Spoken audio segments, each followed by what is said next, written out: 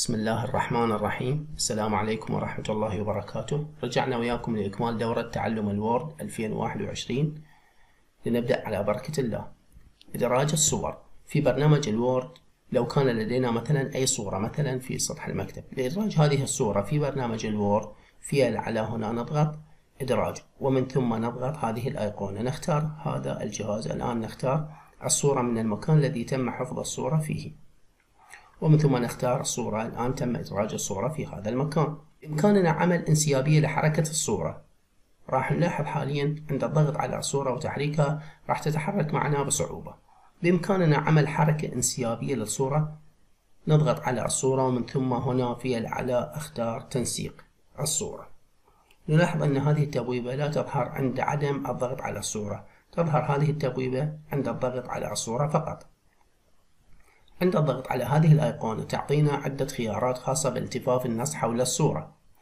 إذا أردنا التحكم بمكان الصورة بكل انسيابية نختار أمام النص. راح نلاحظ أنه الآن تتحرك لدينا الصورة بشكل انسيابي في كامل الملف بإمكاننا وضعها في المكان, في المكان المناسب لنا. لتغيير حجم الصورة نضغط عليها. نلاحظ أنه تظهر لدينا دوائر هنا في هذا المكان. عند تمرير الماوس فوقها يظهر لدينا هذا السهم لتغيير حجم الصورة نضغط عليه بواسطة الزر الأيسر ومن ثم نقوم بتحريكه للتكبير أو التصغير بهذا الشكل. ونختار الحجم المناسب لنا. بإمكاننا عمل ذلك بطريقة ثانية من خلال ضغط على الصورة ومن ثم في على تنسيق الصورة. يظهر لدينا هنا على اليسار الارتفاع والعرض. نقوم باختيار الحجم المناسب لنا. عند الضغط على الصورة ومن ثم تنسيق الصورة تظهر لدينا مجموعة من الأدوات الخاصة في الصورة. سأقوم بشرح هذه الأدوات. من خلال هذه الأيقونة. من خلال هذه الأيقونة بإمكاننا تحسين سطوع الصورة. من خلال الزيادة أو تقليل منها. من خلال هذه الأيقونة بإمكانك تغيير ألوان الصورة. لاحظ الآن أن الألوان تتغير بمجرد تمرير فوق هذا اللون. عند اعتماد أي لون نقوم بالضغط عليه سيتم تغيير اللون. بإمكانك التحكم بشفاف بشفافية الصورة من هنا أو بإمكانك تضغط على خيارات ومن ثم اختيار الشفافية المناسبة لك من هنا. في هذا المكان يعطينا مجموعة من الخيارات الخاصة بحدود الصورة. يعطينا بداية أشكال جاهزة اختيار حدود الصورة. بإمكانك اختيار الشكل المناسب. وهنا على اليسار يعطينا مجموعة من الخيارات الخاصة بتغيير الألوان. خاصة بتغيير ألوان الحدود واختيار السماكة الخاصة بالحد. وفي هذا المكان يعطينا تأثيرات خاصة بالصورة. سواء كانت أشكال ثلاثية أو ظل خاص بالصورة أو حتى من هنا مجسم استدارة ثلاثية الأبعاد. إذا هناك العديد من تأثيرات الصور. بإمكانك تجريبها من خلال هذه الخيارات بشكل كامل. قص الصورة. لو أردت استعمال جزء فقط محدد من الصورة أو قص البقية بإمكاننا قص الصورة من خلال الضغط على أيقونة القص هنا ومن ثم اختيار الجزء الذي نريد ومن ثم نضغط على قص مرة ثانية. راح نلاحظ أنه تم قص الجزء الذي قمنا بتحديده. إضافة جدول في برنامج الوورد. إضافة جدول. تختار المكان الذي سوف نضيف له الجدول.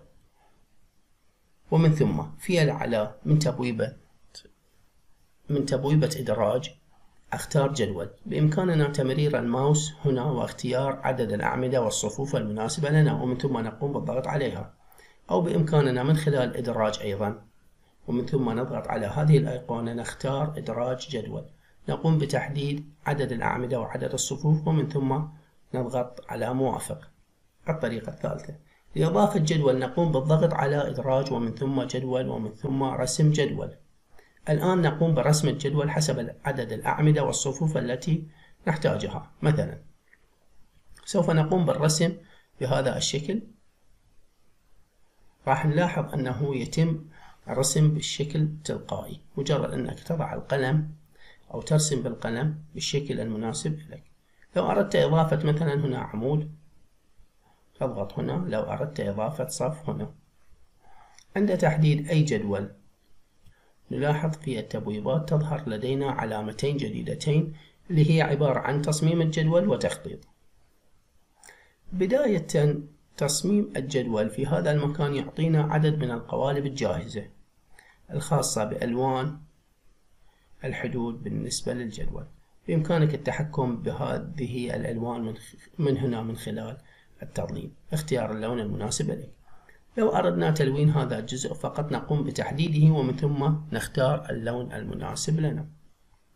لو كان لدينا الآن خليتين وأردنا دمج الخليتين مع بعضها البعض. الخلية الأولى هنا والخلية الثانية هنا. بإمكاني عمل ذلك من تخطيط ومن ثم هنا نختار دمج الخلايا. لو كان لدينا هذه الخلية أردنا تقسيمها إلى خليتين نضع المؤشر فيها وثم هنا نختار تقسيم الخلايا. نختار العدد مثلا اثنين أو ثلاثة ومن ثم موافق. لاحظ الآن أن الخلية تم تقسيمها إلى ثلاثة أجزاء. بإمكاننا التحكم بحجم الجدول. بشكل كامل. من خلال الضغط مثلا على الجدول.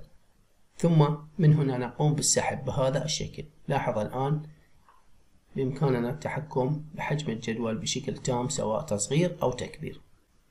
لو أردنا تكبير خلية واحدة فقط أو خليتين نضع المؤشر في الخلية ومن ثم نقوم بوضع الماوس على الخط حتى يظهر لدينا هذا المؤشر ومن ثم نقوم بالسحب. نحو اليمين ونحو اليسار.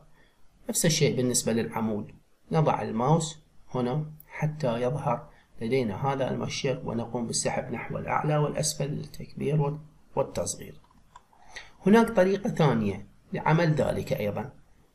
من تخطيط نختار الارتفاع والعرض المناسب لنا سواء كان تكبير أو تصغير بالنسبة للارتفاع نفس الشيء بالنسبة للعرض.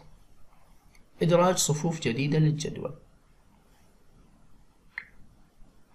إذا كان لدينا هذا الجدول وأردنا إضافة صفوف جديدة له أو أعمدة يجب علينا أن نقوم بتحديد الجدول ومن ثم نضغط عليه بزر الأيمن ومن ثم نختار إدراج.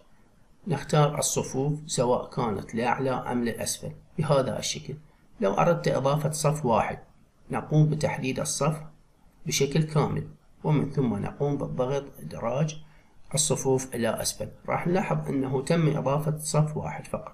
لو أردت إضافة صفين نقوم بتحديد صفين ومن ثم نقوم بالضغط بزر الماوس إدراج صفوف الأسفل ثم إضافة تم إضافة صفين.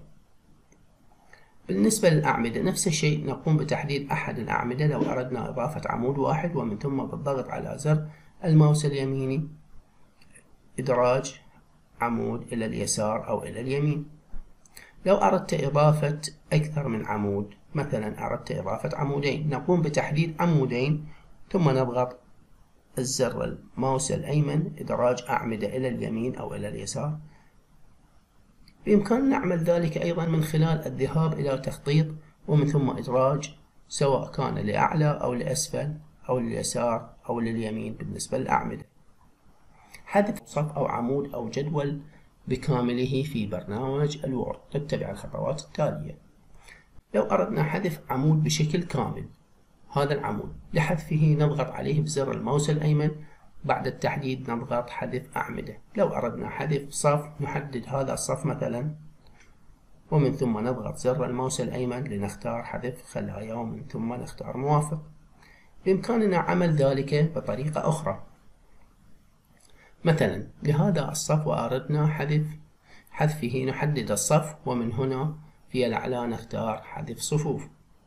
إذا أردنا حذف الجدول بشكل كامل نضغط على هذه الأيقونة الموجودة أعلى اليمين للجدول ومن ثم نضغط على زر الماوس الأيمن ومن ثم نختار حذف جدول. أو بإمكاننا حذف الجدول بطريقة ثانية من خلال الضغط على هذه الأيقونة لتحديد الجدول وفي الأعلى نختار تخطيط ومن ثم هنا نختار حذف جدول.